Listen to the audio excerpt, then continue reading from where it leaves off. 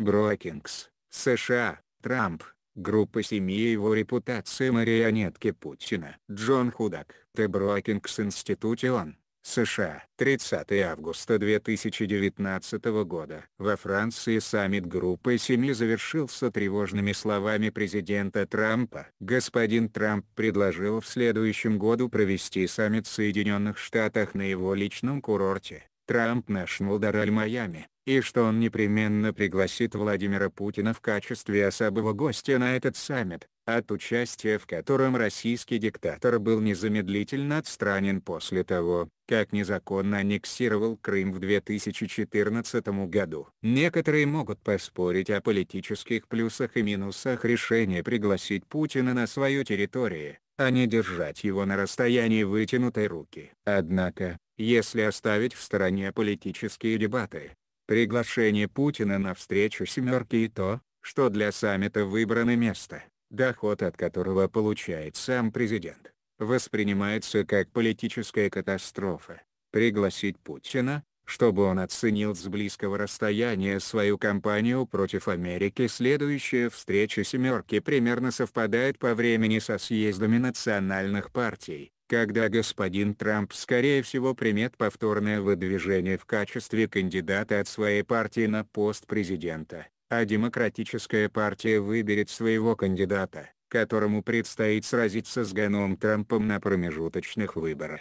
На предвыборной гонке 2020 года предметом обсуждений станет, в том числе, безопасность выборов в Америке, вмешательство россиян в выборы 2016 года, а также текущие кибератаки Путина и вмешательство в выборы 2020 года. Если президент Трамп пригласит Путина в Дораль, он на блюдечке с голубой каемочкой преподнесет Демократической партии повод для политических нападок. Не придется долго ждать чтобы кандидат от Демократической партии или его представители по связям с общественностью записали политическую рекламу и начали кричать на всех кабельных каналах фразу Хиллари Клинтон, прозвучавшую во время дебатов на президентских выборах 2016 года. Путин предпочел бы иметь на посту президента марионетку, а после «семерки» появится множество фото, на которых сияющий господин Трамп будет запечатлен сидящим бок о бок с российским диктатором на американской земле. Хотя республиканские избиратели будут презрительно фыркать,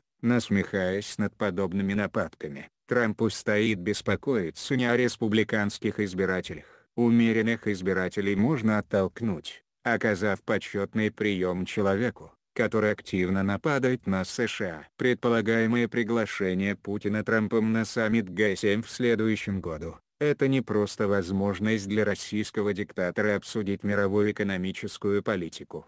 Это приглашение позволит ему занять место в первом ряду, чтобы посмотреть, как продвигается его кампания против Америки и ее демократического строя. Он будет наслаждаться роскошным отдыхом на курорте, расположенном неподалеку от окружных учреждений, которые активно атакуют русские. И хотя на Америку неоднократно нападали с помощью традиционных средств и технологий, американские президенты никогда еще не давали серым кардиналам этих атак преимущества в виде возможности понаблюдать за своим черным делом на американской земле. «семерка» в следующем году может нарушить это правило. Гэну Трампу, Возможно, понравится идея примириться с российским диктатором, но другие лидеры Г-7, что наиболее важно, колеблющиеся избиратели в Соединенных Штатах наверняка посчитают это неприятным и катастрофическим внешнеполитическим решением. А демократы с радостью воспользуются возможностью показать избирателям,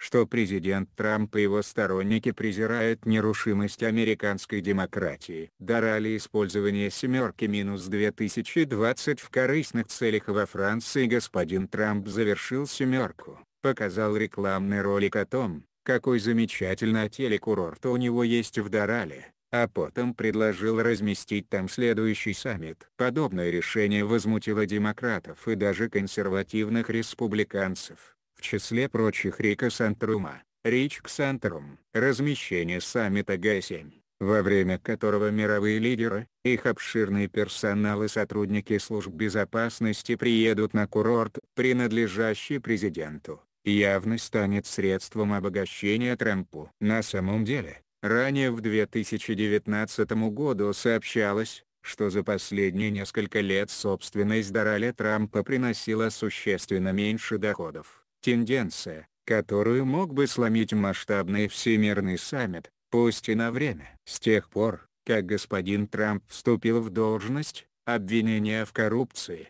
злоупотреблении служебным положением и других этических нарушениях преследуют не только президента, но и сотрудников Белого дома, членов Кабмина, руководителей спецслужб и других лиц. И хотя некоторые из этих нарушений трудно выявить, а подробности весьма туманны, господин Трамп всегда настаивал, что за время его срока активно осушалось политическое болото. Однако по мере приближения президента к перевыборам, которые состоятся в конце лета, начале осени 2020 года, президент, который собирается обогатиться за счет выбора места для «семерки», испортит свой имидж в глазах среднестатистического американского избирателя. Еще раз, с точки зрения имиджа и политики размещения Г-7 на курорте Трампа, сомнительный ход, который станет для демократов, атакующих президента, отличным подарком. Каждому республиканцу,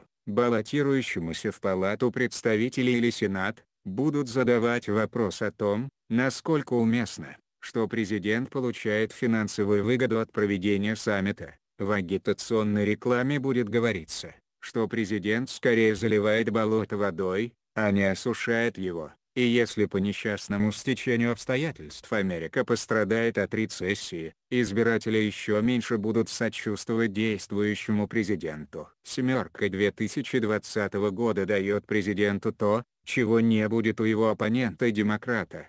Круглосуточное освещение его власти и мощи, поскольку он будет вращаться в обществе самых могущественных мировых лидеров. То, что Соединенные Штаты принимают у себя Г-7 за несколько месяцев до президентских выборов, настоящий подарок с точки зрения политики. Однако решения мистера Трампа в отношении места проведения мероприятий и списка гостей могут привести к невообразимому, превратить «семерку» в лучшие, на что только может рассчитывать кандидат от демократов. Джон Худак, заместитель директора Центра эффективного государственного управления, Center for Effective Public Management, старший научный сотрудник программы исследования в области госуправления Брукинского института. Материалы на СМИ содержат оценки исключительно зарубежных СМИ и не отражают позицию редакции на СМИ.